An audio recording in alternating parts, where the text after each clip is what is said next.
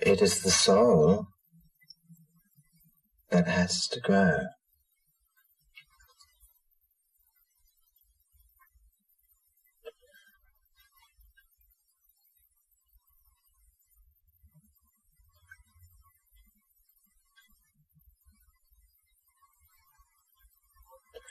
How is that going to take place?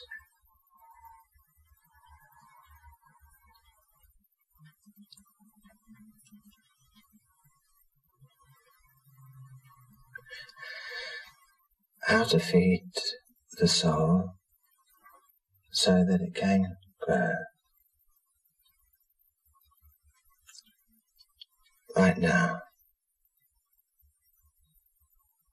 this moment, any moment, this moment, everybody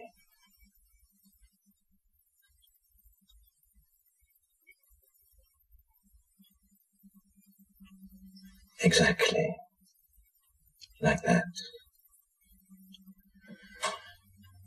Like that here, this moment, as you are being being and searching, aren't you, at the same moment? Now, I can tell, I can feel.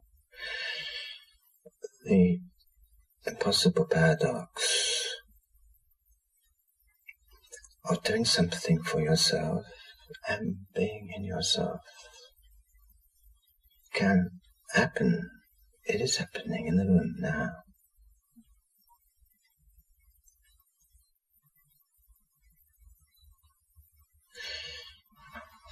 isn't it? It's like the almost the opposite of the goose meditation of having the arms in the air. The desire to move is itself still, and being still with yourself is a movement. Now, I ask you, where is the journey of the soul taking place right now in you? And most of you, if not all of you to some extent, immediately fell towards the path that the soul takes. It was an active happening, and yet a tremendous stillness. That is the trick. Of course, there are thousands upon thousands of situations where it will not be just sitting still together with other explorers, listening to a few words, be in the midst of hectic activity. But the same principle can be brought to bear.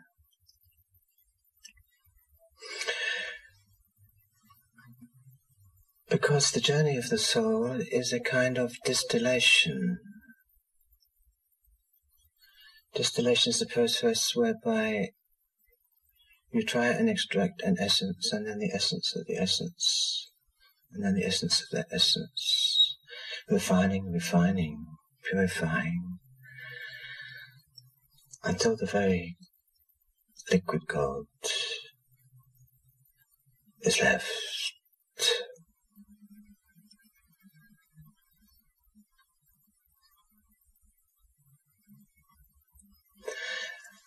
And that process of refinement has to be done not only when you're sitting in meditation, but when you're consumed with jealousy, anger, envy, despair, sadness, frustration, lostness. The process is fundamentally the same as it is this moment.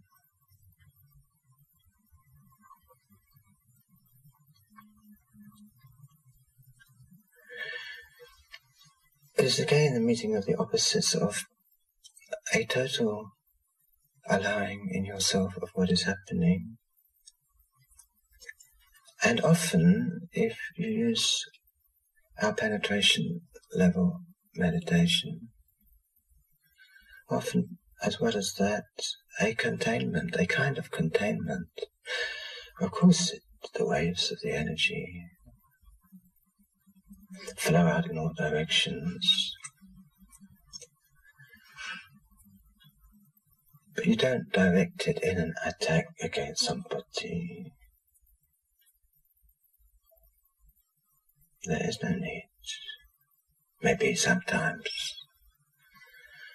just to let some steam out if you can't diffuse it. But the whole working with energy is an attempt to feed the soul.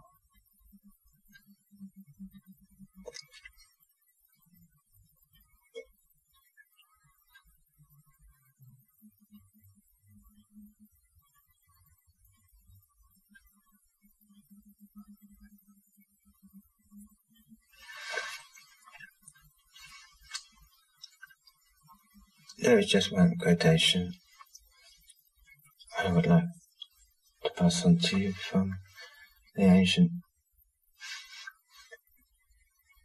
Hindu scriptures.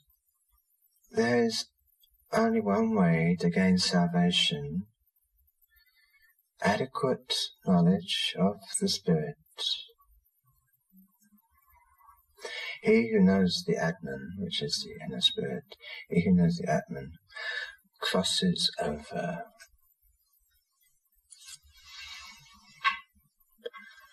Crosses over. The method is step by step,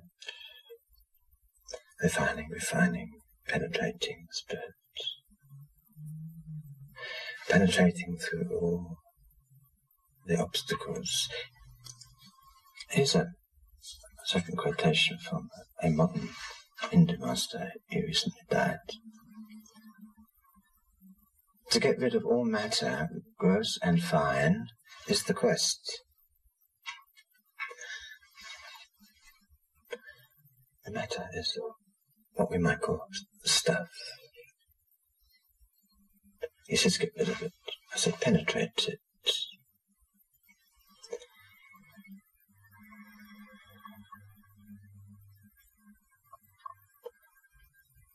Even as you're penetrating it, you can feel underneath the spirit.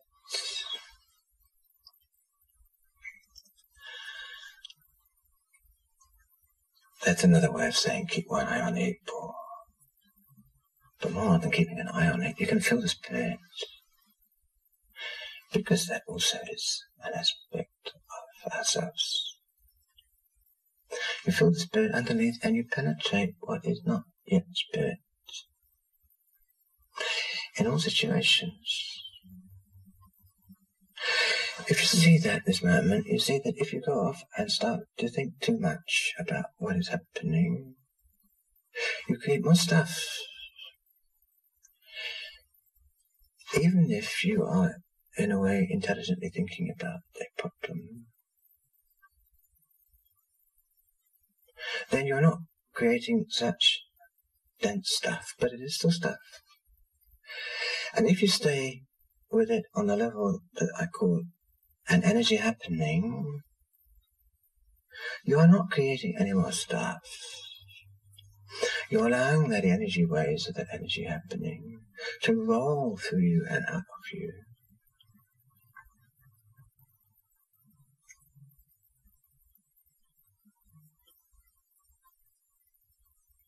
And if you do that, you will, in the terms of this teacher, be getting rid of it.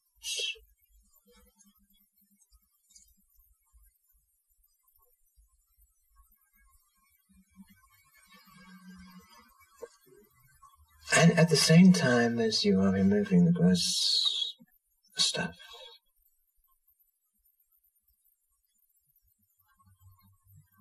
you are feeding soul, not only reaching out for it, in a way, straining towards it.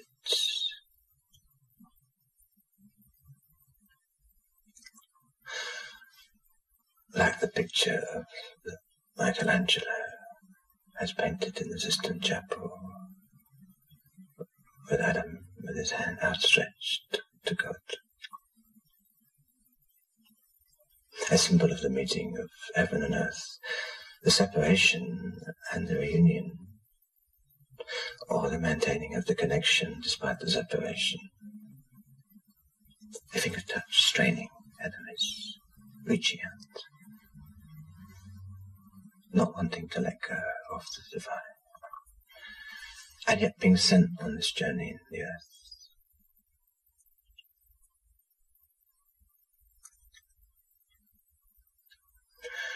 When one really meditates consciously and with totality, with eagerness to find this joy within us, this glory.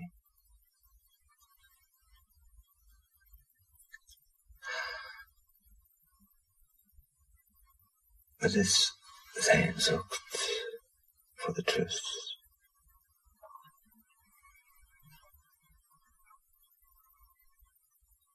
One is clearing the mud away. And the very longing becomes a kind of resonance, slightly adulterated, of course, but nevertheless close and encouraging that the connection to be made between one center of operation, as it is, and one soul.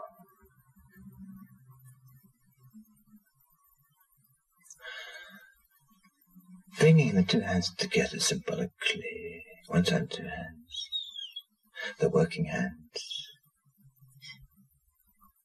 and the hand that represents the participation in the cosmic reality.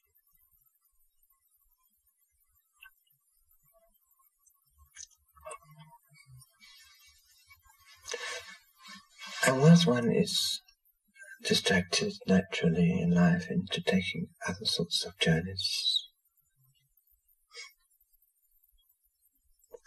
Work journeys, emotional journeys, achievement journeys.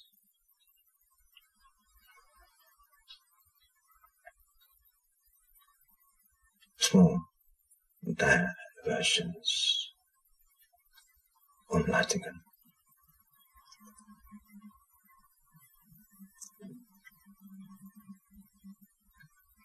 one has to come to the point in oneself where something in oneself, like the needle of a compass, is always pointing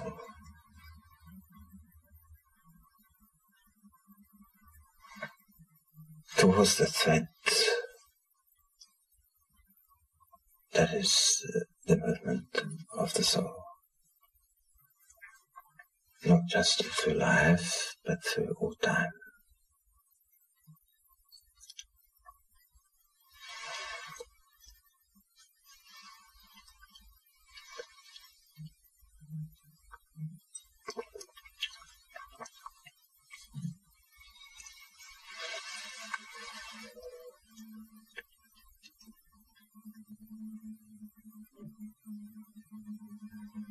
So Gurdjieff was right. One has to grow one's own soul. It's another way of saying one has to find it and walk with it. And that's the same thing seen from the point of view of the work. One has to grow it. From the point of view of the other hand, that is in the cosmic reality, there is nothing to be done but to be reunited with that hand totally. But from the point of view of the journey, there is active work to be done in the form of meditation, refinement, distillation, penetration of matter, gross and subtle. And the key is this that I asked you at the beginning right now, where is the path that your soul is on?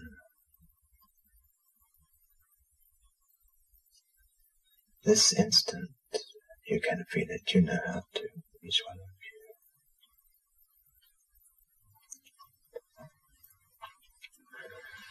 Another way of putting it is as the line is in one of the songs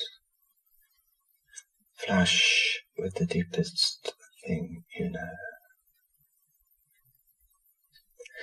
If you keep going to the deepest thing you know, that's nothing to do with knowledge, it's to do with what you can perceive in your reality at any moment. You can perceive thinking, you can perceive feelings, sensations, vibrations, sounds, images, and so on. And at each instant, what is the deepest thing? If it's thinking, then think. If it's anger, then feel the anger. That is penetrating the gross matter. These are gross things, but they are there if they seem to be the most important. then be flush with them. If they're not, then be flush with something that may be beyond them, like a stillness, a silence, an emptiness.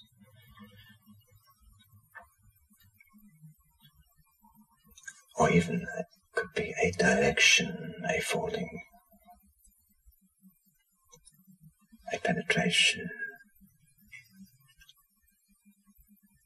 Then if that's the deepest thing, that movement somewhere in some direction, then be flush with it. Give your energy to it. Center yourself there while it is possible.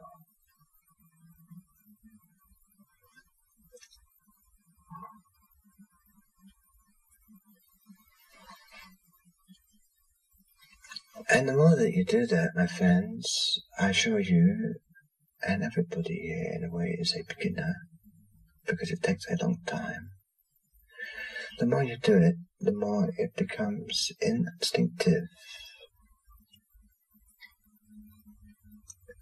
The more it goes on willy-nilly.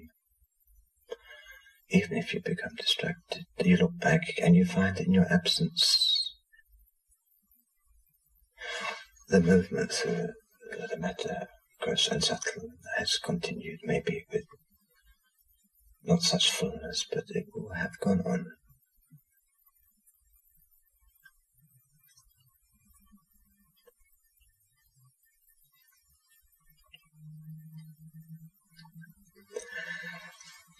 Then the whole distraction of judging yourself can be dropped. You may know that this is not a perfect virtue for you, this anger, this jealousy, this hurt, this lostness. But you do not judge it, you say it is a happening. And I will go into it and find the deepest thing in it that I can find. And if I do that, doing that is such a meditative activity that you immediately start being in touch with something even beyond the deepest thing that you know. Let us say you get in touch with the next layer by penetrating one layer so totally, so fully, so determinedly. It awakens in a way the next layer underneath, as if you have one hand already, waiting for the second active poking hand to penetrate, to make that ready for the next layer and its penetration.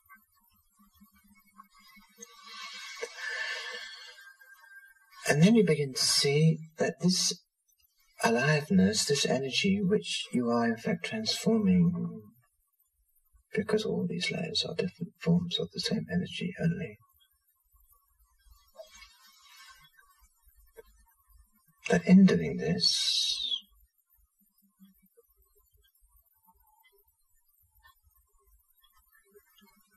you are discovering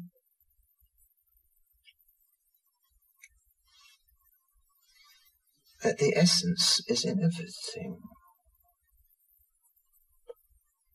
In jealousy as much as in love. In restlessness as much as in stillness. In lostness as much as in celebration.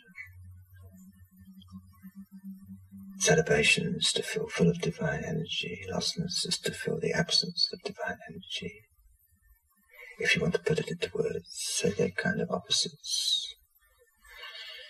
And yet, in this way, you see that they are both expressions of something beyond them both. And then you see you can use anything for the journey of the soul. Nothing is outside the game the play, the work.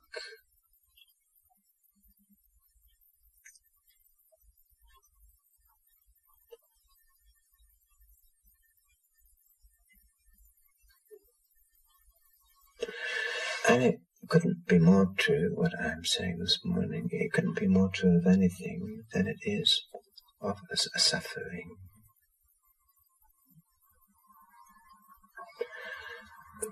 Suffering is such a release of dynamic energy that if you know how to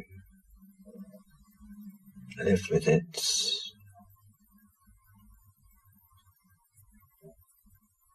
accept it, somehow ride it,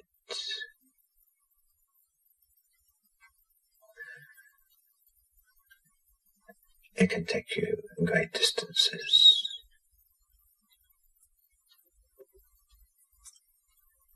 You could almost define suffering as the release of a volcano of energy.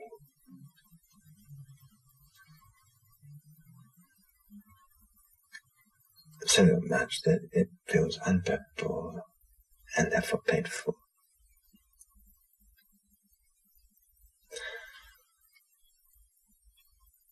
The loss of a loved one, either through a death or through an ending of love for you.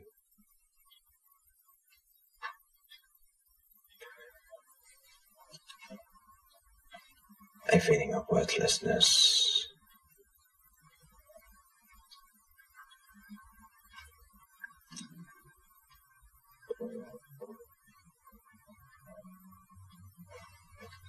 A feeling of being cut off from other people.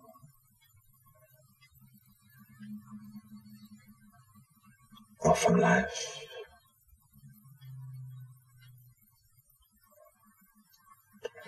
A feeling of being trapped inside yourself and hearing the same thoughts bombinating around endlessly, eternally. And your response to suddenly seeing that sufferings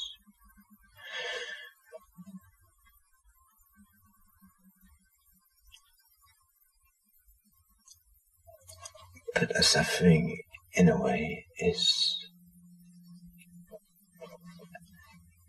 the end of something.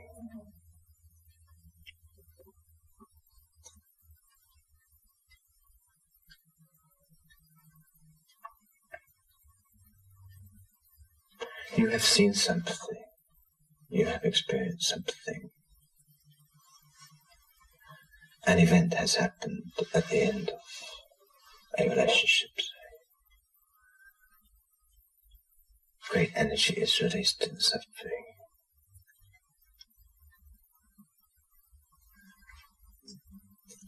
It is the door to the next layer.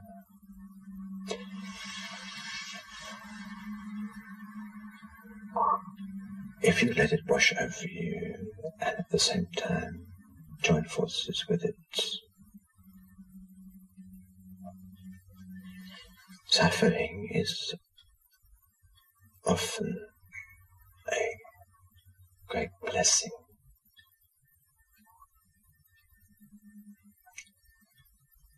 However little it might seem like it sometimes, it is always a great blessing.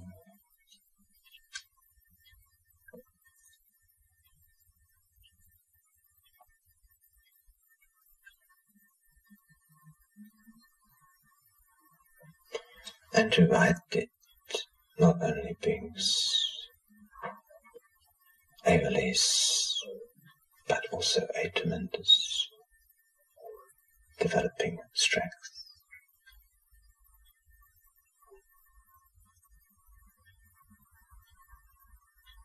You have survived. You are greater than that suffering. You have passed the kind of test that the cosmos has set you. And what is more, you are not back where you started, as many people are. because they don't learn the lesson of the suffering and they don't use it to ride through a level to a new level. Suffering probably will disappear anyway in time. Most mental and emotional anguish disappears in time. But you have not conquered it if time has done it for you.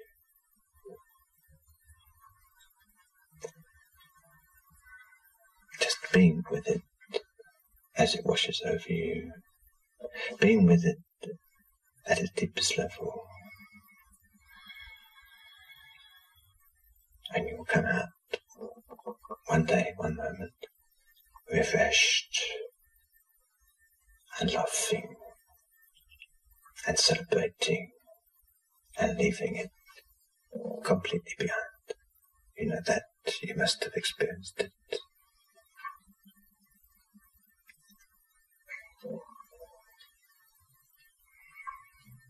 and walk on.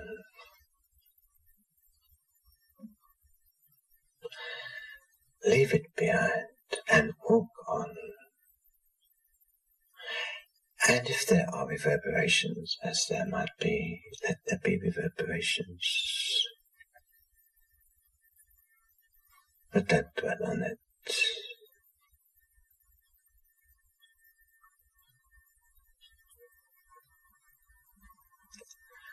Or if you do, if you cannot help turning to it, that it's stronger than anything else that seems to be around, that is still the deepest thing we know, then go into it again. But there's an energy happening. There's still energy left in it for you. Then, if that's the strongest wave, then go into it.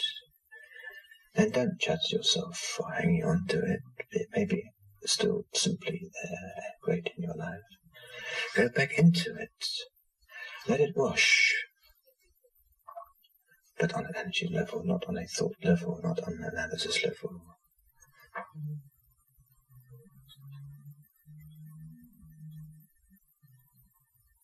And suddenly you will find that you can use it and then if you find you can use it, you will begin to see it as a gift. If you can use something, then it is a gift.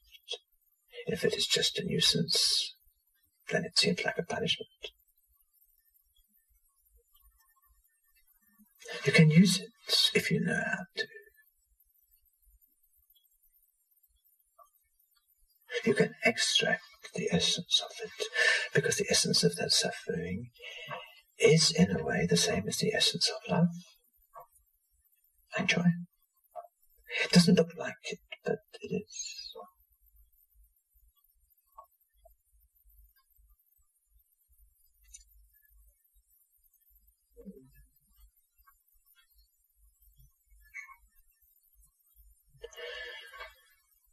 And then you begin to see that in a way energy, which is one of the early lessons in energy work, doesn't really have a name unless you give it a name. It has a quality, but it does not have a name.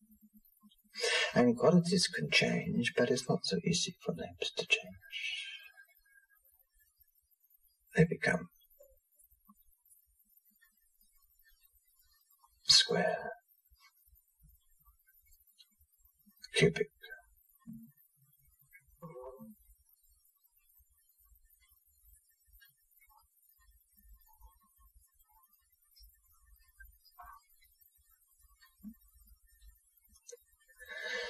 moment you give a shape to the suffering and a form and a word and a statement,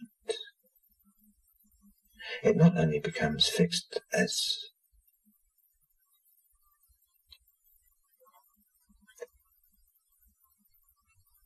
a mood that with a particular name, it becomes fixed on you.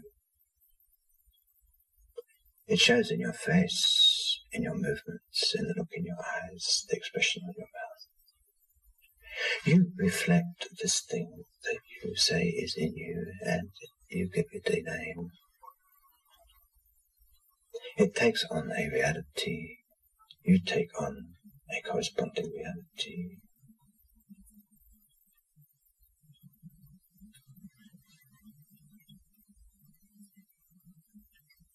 You are seen then as a sad person, an angry person, a jealous person, a suffering person, a self-pity person.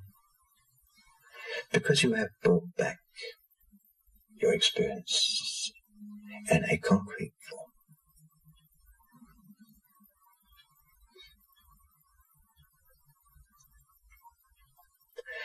So we look at somebody's face today and you will see what happened to them yesterday. Or the day.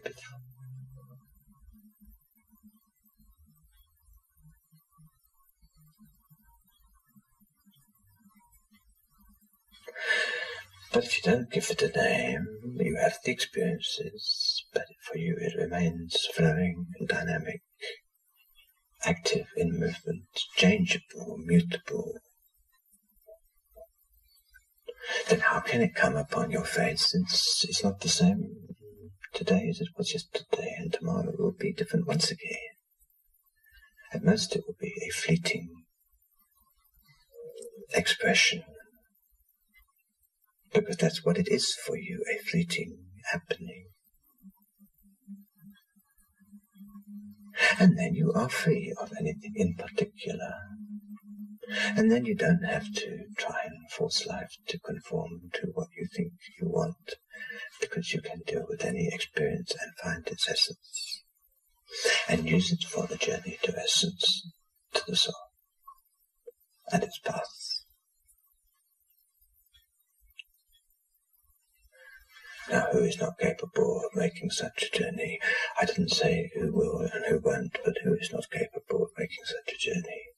I cannot think of any human being, if they wanted to, and set their foot upon the path, who could not make that journey.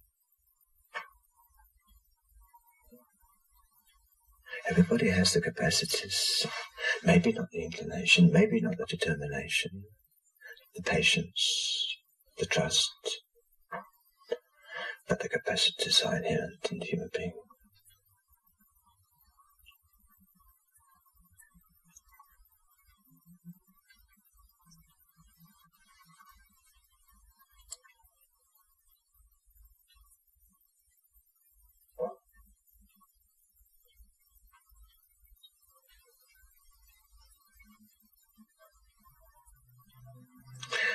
And if you carry on with that, you begin after a while to see that the deepest thing that you know is silence or stillness or joy, contentment, a high contentment, a feeling of final contentment, or at least dependable contentment. You come to it. You don't, in a way, aim for it. You don't know what you are aiming for. You're aiming just simply beyond this stuff that is floating around or filling you. You simply keep penetrating, going beyond, refining, getting rid of the end demands it.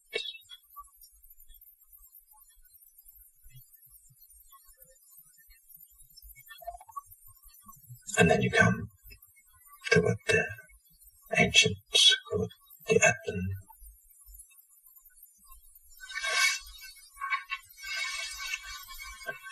And then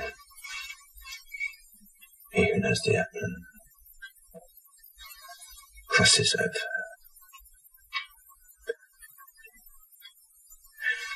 It's beautiful. You work, you penetrate,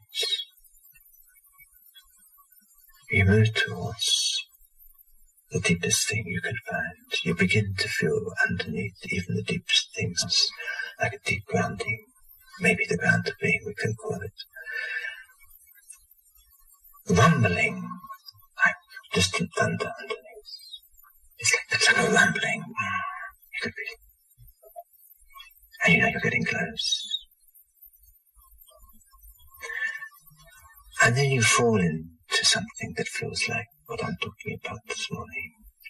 And then you cross over.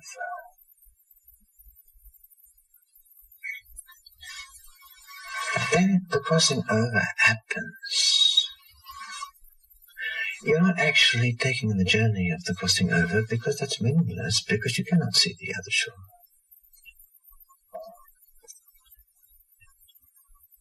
But suddenly it seems it happens by itself.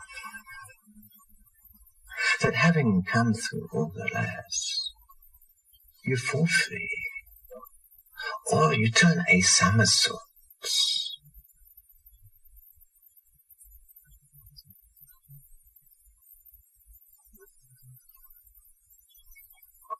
In a perfect somersault.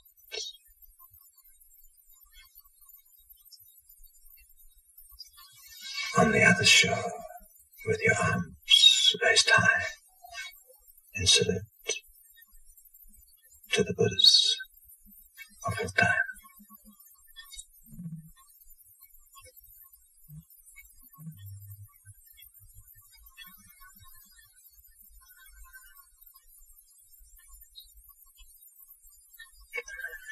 And if things are going tough for you, it is not an accident. It is necessary.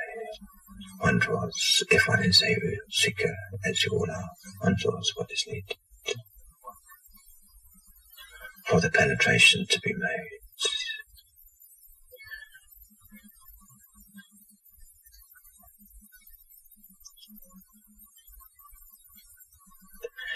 And from that point of view, if you are in a joyful state in your ordinary life, you are no more blessed than the person who is in a miserable and suffering state.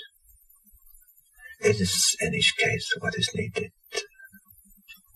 in order to get beyond the duality of joyfulness and suffering.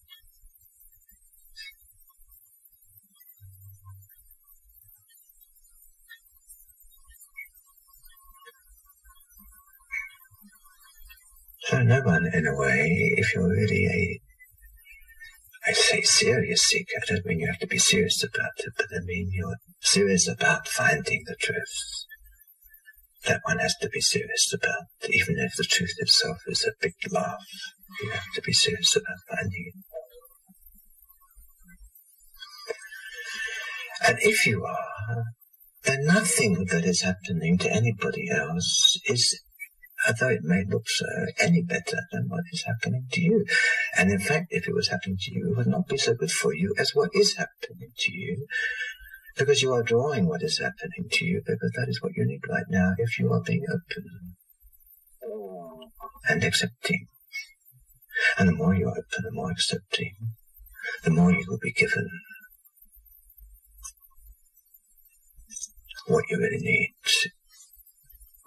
in bigger dollops because the gods will say, he, she can handle this.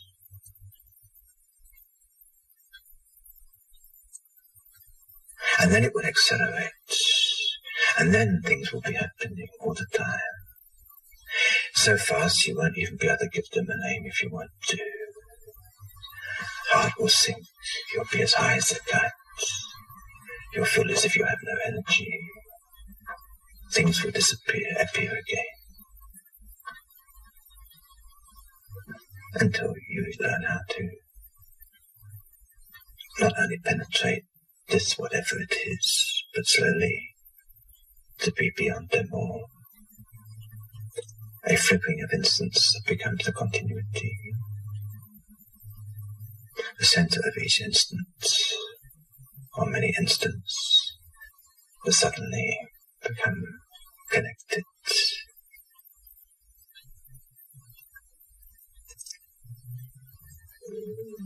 And then uh, there's no coming and no going.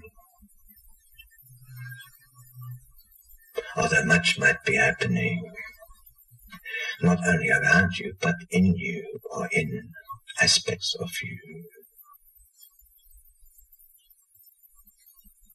Tears, tiredness, fear, and it will be just be washing over the rocks that you left behind when you fell into the sea. And you will not identify that you will be conscious of the happening. You will not condemn yourself. You will not judge yourself. You will not judge anything. It will be incidents, energy happenings.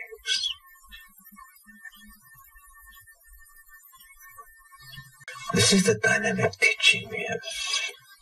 It is nothing abstract or theoretical about it.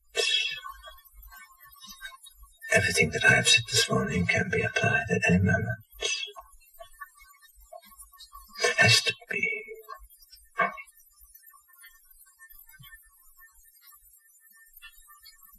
In your own way, you understand I have used my words. I'm pointing at something. You may have totally different words. But something of the sort is the work here.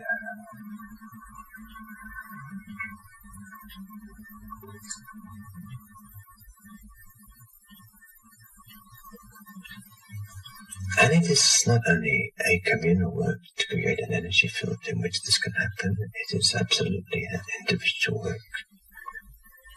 Because he undertakes the work we're alive and he not. Even without the energy field. The energy field is an encouragement like the hand that goes underneath the working hand and sets up an attractive energy. So you're both putting yourself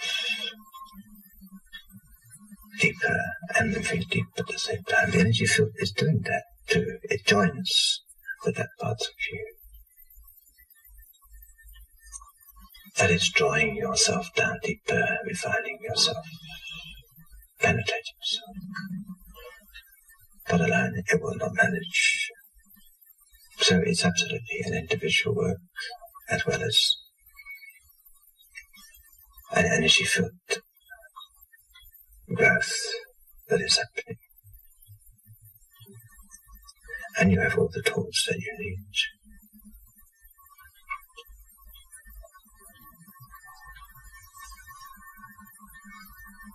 And the environment in which to use the tools is simply your life.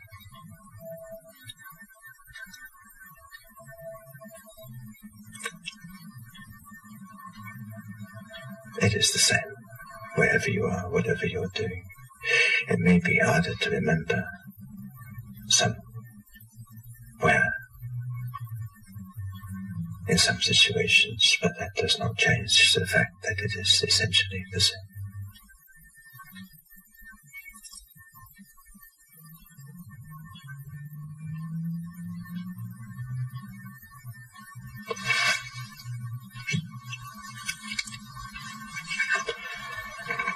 Is only one way to gain salvation adequate knowledge of the Spirit.